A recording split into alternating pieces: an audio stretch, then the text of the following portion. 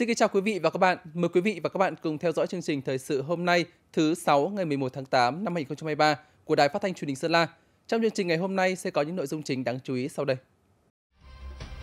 Ban Thường vụ tỉnh ủy làm việc với Ban Thường vụ huyện ủy Phú Yên về tình hình triển khai thực hiện nghị quyết Đại hội Đảng các cấp nhiệm kỳ 2020-2025. Thường trực tỉnh ủy làm việc với huyện Yên Châu về công tác tôn giáo và thực hiện quy chế dân chủ ở cơ sở. Thuận Châu đảm bảo an toàn tính mạng tài sản của nhân dân trong mùa mưa lũ. Nâng cao nhận thức trách nhiệm về thực hiện tăng trưởng xanh hướng tới phát triển bền vững.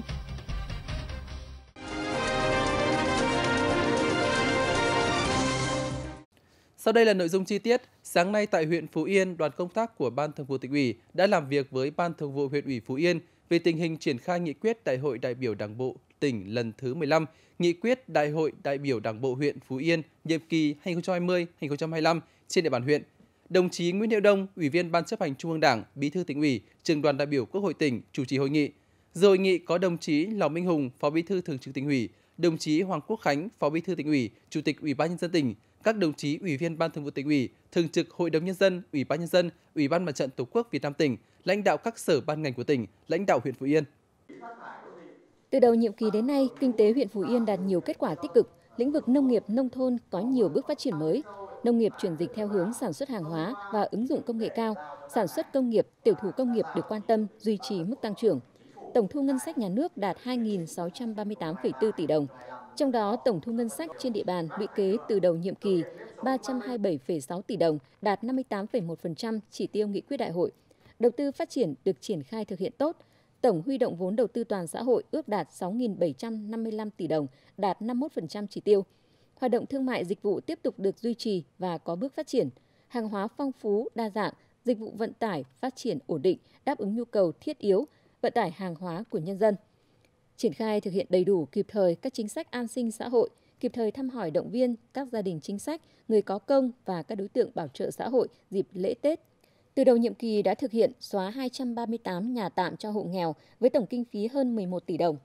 Về chỉ tiêu nghị quyết Đại hội đại biểu Đảng bộ huyện lần thứ 20, nhiệm kỳ 2020-2025, đối với kinh tế xã hội đạt và vượt 4 trên 19 chỉ tiêu, 13 trên 19 chỉ tiêu đạt tiến độ, lộ trình thực hiện. 2 trên 19 chỉ tiêu về kinh tế xã hội đang gặp khó khăn.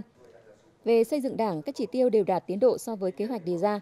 Các chương trình mục tiêu quốc gia triển khai trên địa bàn huyện đem lại hiệu quả thiết thực, chất lượng giáo dục không ngừng được nâng lên, quy mô trường lớp học được duy trì, bảo đảm đáp ứng nhu cầu học tập tối thiểu của học sinh. Ngày 10 tháng 8, đoàn công tác của Ban chỉ đạo công tác tôn giáo và Ban chỉ đạo về thực hiện quy chế dân chủ ở cơ sở của tỉnh do đồng chí Lò Minh Hùng, Phó Bí thư Thường trực tỉnh ủy, trưởng ban chỉ đạo làm trưởng đoàn đã có buổi làm việc tại huyện Yên Châu. Cùng sự làm việc có đồng chí Lưu Minh Quân, Ủy viên Ban Thường vụ tỉnh ủy, trưởng ban dân vận tỉnh ủy, các đồng chí trong thường trực huyện ủy Yên Châu. Đoàn đã đến thăm và làm việc tại bốn bản gồm bản Pá Kha 2, bản Co Lắc của xã Trường Tương và bản Lao Khô 1, Lao Khô 2 của xã Phương Khoài.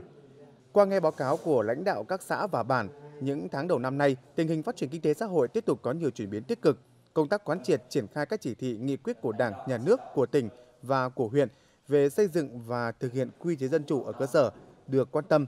Tình hình an ninh chính trị được giữ vững,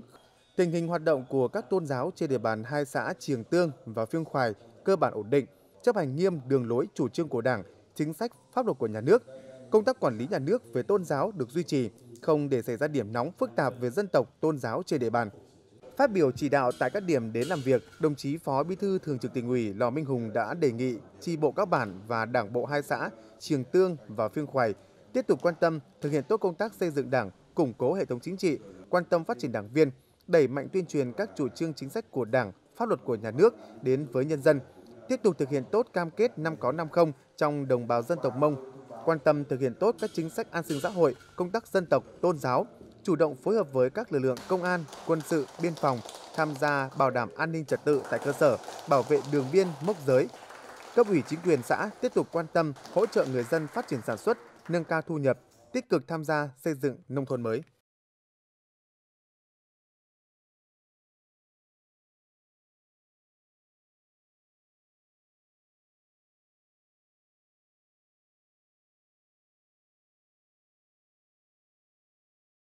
Theo dõi chặt chẽ diễn biến mưa lũ, di chuyển các hộ dân trong vùng có nguy cơ bị ảnh hưởng đến nơi an toàn, thông tin kịp thời đến các cấp chính quyền, người dân, chủ động các biện pháp phòng tránh phù hợp, chủ động nhân lực, phương tiện, vật tư đảm bảo ứng phó kịp thời khi xảy ra thiên tai là các phương án huyện Thuận Châu, tỉnh Sơn La đang triển khai nhằm đảm bảo an toàn tính mạng và tài sản của nhân dân trong mùa mưa lũ năm nay.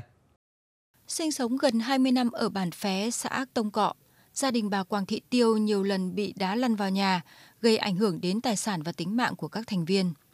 Bây giờ xã với đà huyện cũng động viên ừ, ra nơi an toàn mới. Bây giờ chúng tôi cũng ra ra nơi ở mới với là an toàn hơn, yên tâm hơn. Tại bản Huông, xã Triềng Ly, cứ vào mùa mưa, đất đá trên đồi lại trượt xuống con đường độc đạo ra vào bản, gây nguy hiểm cho người tham gia giao thông.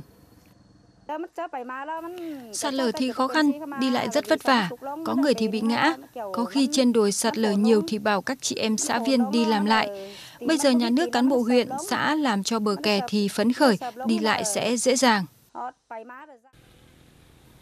Còn trên địa bàn xã Liệp Tè, trong đêm mùng 4 đến ngày mùng 6 tháng 8 vừa qua đã xảy ra mưa vừa mưa to, có nơi mưa rất to, gây ảnh hưởng đến đời sống sinh hoạt, sản xuất, nhà cửa và tài sản của người dân. Bây giờ nguyện vọng gia đình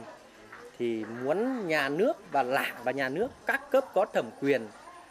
nhanh chóng giúp đỡ gia đình chúng tôi và cũng như bà con khác lang gặp nạn. Đấy. Qua đi kiểm tra giả soát thì đối với ủy ban nhân xã thì cũng đã à, thành lập ban chỉ đạo cũng là phòng chống thiên tai để tìm kiếm cứu nạn của xã thì phân công để trong thành viên à, ban chỉ đạo phụ trách à, các à, cụm bản đấy trên 15 bản. Trên cơ sở đó thì trên chúng tôi đã huy động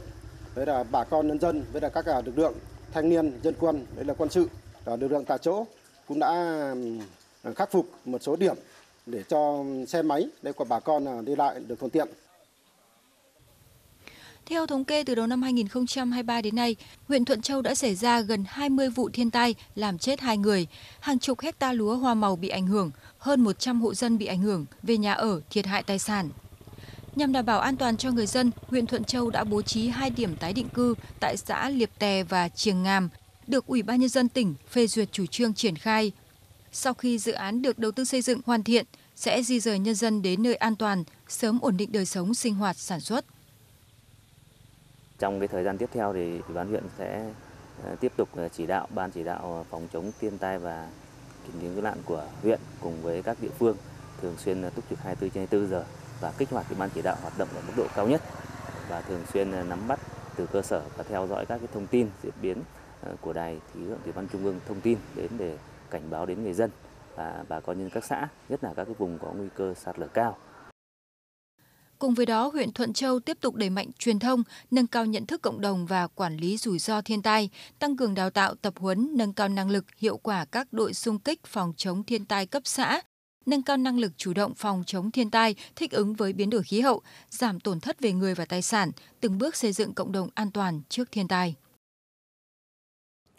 Trước những thiệt hại do mưa lũ gây ra trên địa bàn huyện Mường La, Liên đoàn Lao động tỉnh đã trao hỗ trợ hộ đoàn viên bị ảnh hưởng thiên tai. Đến thăm gia đình đoàn viên Quảng Văn Loa thuộc công đoàn cơ sở, Ủy ban nhân dân xã Hồ Trao huyện Mường La, đại diện Liên đoàn Lao động tỉnh đã chia sẻ với những khó khăn của gia đình bị ảnh hưởng bởi thiên tai, đồng thời trao hỗ trợ 3 triệu đồng từ nguồn quỹ xã hội Liên đoàn Lao động tỉnh Sơn La để động viên gia đình sớm khắc phục khó khăn, sớm ổn định cuộc sống. Công đoàn cơ sở Ủy ban nhân dân xã Hua Tra huyện Mường La cũng đã quyên góp ủng hộ số tiền 3 triệu đồng, góp phần chia sẻ với gia đình anh Quảng Văn Loa sau thiệt hại do bão lũ gây ra. Được sự quan tâm của Liên đoàn Lao động tỉnh, Liên đoàn Lao động huyện cùng à, thường trực đảng ủy hội đồng nhân dân ủy ban nhân xã đến động viên gia đình tôi rất bồi hồi và xúc động xin được cảm ơn à, các cấp các ngành đã quan tâm đến gia đình để ổn định cuộc sống. Dịp này, Liên đoàn Lao động huyện Mường La cũng đã trao hỗ trợ cho ba công đoàn viên bị thiệt hại do mưa lũ từ nguồn quỹ vì công nhân viên chức của huyện. Ngày 10 tháng 8 tại huyện Mộc Châu, Trung tâm Truyền thông Tài nguyên và Môi trường, Bộ Tài nguyên và Môi trường phối hợp với Sở Tài nguyên và Môi trường Sơn La tổ chức hội thảo truyền thông về chính sách tăng trưởng xanh hướng tới phát triển bền vững. Tham dự hội thảo có đại diện Sở Tài nguyên và Môi trường các tỉnh miền núi phía Bắc.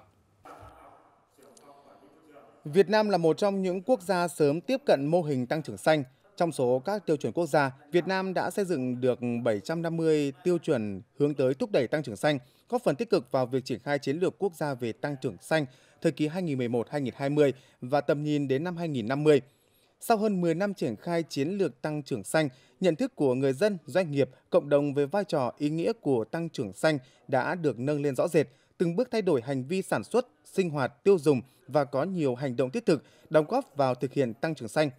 Hội thảo đã tập trung phân tích công tác quản lý chất thải, rác thải, giảm phát thải khí nhà kính, tổ chức phát triển thị trường carbon và lộ trình thực hiện cam kết của Việt Nam tại hội nghị COP26 hướng đến tăng trưởng xanh, phát triển bền vững, giới thiệu các mô hình kinh tế xanh, kinh tế tuần hoàn, các giải pháp của địa phương trong thực hiện mô hình tăng trưởng xanh.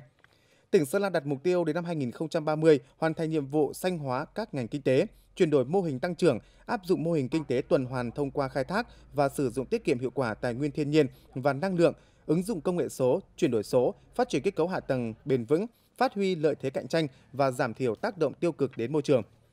Hội thảo nhằm nâng cao nhận thức, hiểu biết, ý thức trách nhiệm của các cơ quan quản lý nhà nước, doanh nghiệp, người dân về các chủ trương, đường lối chính sách pháp luật của Đảng và nhà nước trong thực hiện chiến lược quốc gia về tăng trưởng xanh. Với đặc thù là địa phương có tốc độ phát triển nhanh, vì vậy có rất nhiều vấn đề nảy sinh cần giải quyết, đặc biệt là vấn đề đơn thư khiếu nại tố cáo để nâng cao kỹ năng giải quyết trong công tác tiếp công dân và xử lý đơn thư khiếu nại, tố cáo. Ủy ban nhân dân huyện Mộc Châu tổ chức tập huấn cho gần 100 cán bộ, công chức, viên chức, các cơ quan đơn vị, các xã thị trấn. Trong 6 tháng đầu năm 2023, huyện Mộc Châu tiếp nhận số lượng đơn khiếu nại, tố cáo, kiến nghị phản ánh tăng cao và tiềm ẩn yếu tố phức tạp hơn so với cùng kỳ năm 2022. Trong đó đơn khiếu nại tăng 50%, đơn tố cáo tăng 25%, đơn kiến nghị phản ánh tăng 128% so với cùng kỳ.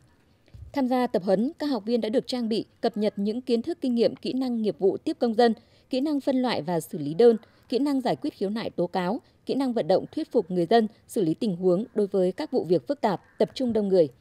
Qua tập huấn nhằm nâng cao trình độ kỹ năng cho cán bộ được phân công làm công tác tiếp dân, xử lý đơn thư khiếu nại tố cáo, khắc phục một số tồn tại hạn chế trong thời gian vừa qua, từ đó kịp thời giải quyết dứt điểm những vấn đề phát sinh ngay từ cơ sở, không để xảy ra điểm nóng phức tạp.